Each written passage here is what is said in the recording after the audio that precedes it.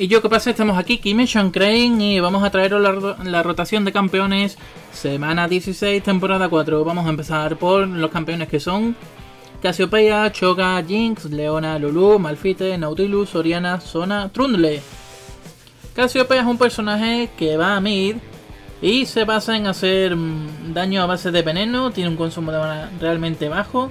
Su ultimate estunea si los pilla de frente o ralentiza si los si los pilla de espalda. Hay que decidir que obtiene velocidad de movimiento mm, con envenenando a la gente con la Q. Y ese es su único mm, su única habilidad de huida, no, no hace nada más. Simplemente corre más rápido si envenena a la gente. Poquito más tiene, gasta menos maná mientras más habilidades use. A mí me gusta bastante porque es un personaje que mete mucho. Y pushea bastante. Aparte la E la spamea porque se reduce el enfriamiento si tiene si tienen veneno los enemigos. Luego tenemos a Malfite. Malfite es un campeón que está bastante bien, va de jungla o de top, va a recibir bufeo en el próximo parche, va a ponerse bastante contentito. Su ultimate se puede esquivar si tiene suficiente reflejo con un destello o, o alguna habilidad de movimiento. Y es una ultimate que levanta, levanta en área. Luego también la E, mete en área, ralentiza la velocidad de ataque de los enemigos. Es un tanque bastante anti-AD, porque su daño aumenta respecto a la armadura que tenga, creo recordar que era. Tiene un escudo también, gracias a la pasiva. Su Q roba velocidad de movimiento. Me gusta bastante Malfite, excepto por los costes de maná que tiene ahora mismo. Vamos con Choga. Choga es un topo jungla que se sea bastante Puede cesear bastante gracias a su Q que levanta en área o su W que silencia en área. Su E hace daño adicional en área. Y su ultimate mete un bocado no que mete daño verdadero. Luego, mm, ¿qué más tenemos que decir de Choga? Bueno, eso hace la jungla muy fácilmente. Y en top pues hay que tener cuidado con su coste de maná. Pero vamos, hiteando minion gracias a la E. Y gracias a que Matar bichos nos daba vida, creo recordar. Gracias a la pasiva. Creo recordar. Ahora mismo no caigo, creo que sí. Pues eso, sí, sí, daba vida. Pues tendremos un sustain bastante decente. Vamos a ir luego con Nautilus. Nautilus es un jungla que cecea muchísimo, pero tiene un poquito que, que no tiene mucho daño, ¿no? No como otros junglas que tienen buen CC y buen daño. Nautilus puede gankear muy efectivamente gracias a la Q, que engancha a la gente, la pasiva clava en el suelo a la gente, la E ralentiza, la W hace daño adicional y le otorga un escudo. Y la ultimate, pues levanta. Me gusta muchísimo Nautilus, pero mmm, ahora mismo no es que esté en su mejor momento. Vamos a dejarlo ahí. Hay muchos mejores, mejores junglas. Pero vaya, me encanta. Siguiente campeón, Jinx.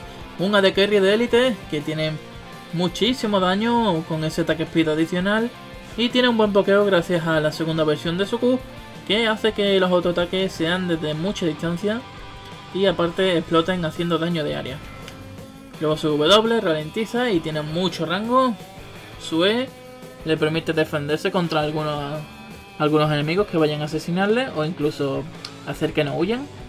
Y su ultimate permite rematar mm, de forma muy efectiva a los enemigos, porque mete muchísimo, ¿eh? Vamos ahora con Oriana, que es una mid también bastante de élite. Oriana mete bastante porque tiene un spameo de habilidades bastante gordo. Oriana puede proteger a la gente gracias a la E, que le pone un escudo a los aliados. Al aliado que ella elija, vaya. La ultimate mete un CC en área bastante curioso, y lo que no me gusta de Oriana es que la Q no tiene mucho rango, pero claro, es que tienes que estar, tiene que estar compensado. Porque con la E, por ejemplo, sí tiene mucho rango. Si se la tiras a un aliado. La W ralentiza y da velocidad de movimiento a los aliados. Y la pasiva te permite la hitear mucho más fácil porque haces daño adicional con los golpes básicos. Me gusta mucho Oriana. Luego tenemos a, a Leona. Support de élite. Madre mía, ¿qué pasa con esta rotación? Lo que queda, ¿sabes?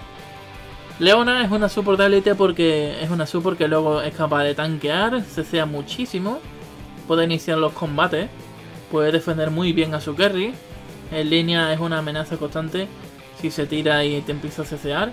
Ya que tu Kerry no va a hacer nada, no va a poder huir, se va a comer todos los daños del otro de Kerry. Y la verdad es que me encanta, Leona está bastante, bastante bien, por no decir muy hinchada. Y sin ninguna duda la recomiendo. Siguiente, Sona. Sona es otro support. Yo lo tengo en alta estima porque es un support que cura, es un support que pokea, da estadísticas, se sea en área, da movimiento, lo da todo Sona. La pega que es un poco sensible. Pero eso no importa mucho porque es que no tienes que ponerte a melee ni nada. Simplemente tienes que estar detrás, apoyando a tu equipo, defendiendo a tu carry.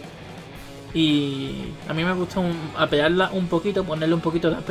No sé, comprarle el filo de la reina de hielo, que eso creo que se llamaba. Y si llegara la ocasión mucho más adelante, pues comprarle algún objeto de AP gordo, ¿no? Cuando ya tuviera mm, la, la build de super completa. Vaya, el de Micael, el, el totenador, el de esto de la reina. Podríamos comprarle sombra gemela o, o incluso gorro o reloj, ¿no? No sé. Le viene muy bien a la P para curar más y para hacer que todo sea más efectivo. Siguiente campeón, Lulu. Lulu te lo puedes llevar a medio de support. Lulu mete bastante, tiene buenas escalaciones. La ultimate es un CC. Vamos, una habilidad que se lo tira a los aliados. Al aliado que ella elija y levanta a los enemigos que estén alrededor. Y aparte ese aliado recibe vida adicional momentánea durante unos segundos. La Q de Lulu ralentiza mucho. La pasiva hace que, que los autoataques de Lulu sean bastante, bastante potentes. Luego tenemos W que te transforma en... En conejo creo que era, no me acuerdo en qué te transformaba. Se lo puede tirar sobre ella misma para obtener velocidad de movimiento adicional.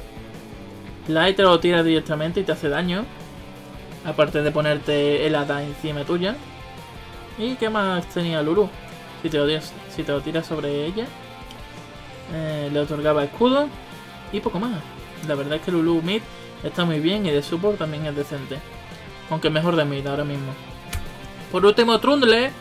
Trundle es un top que es anti-tanques, anti, por ejemplo, anti-Jax, anti... Anti-Mundo, anti... Esto. Trundle ha resurgido simplemente, sobre todo, para contrapiquear a Mundo, a Renekton y a esta gente. Porque con su ultimate le roba las estadísticas al enemigo y él se convierte en un super tanque también.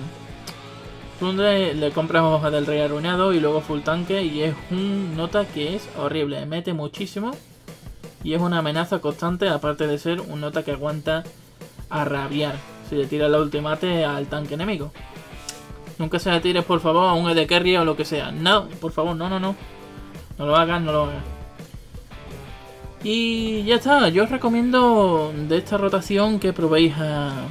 Vaya, que, que estén OP y, que tal.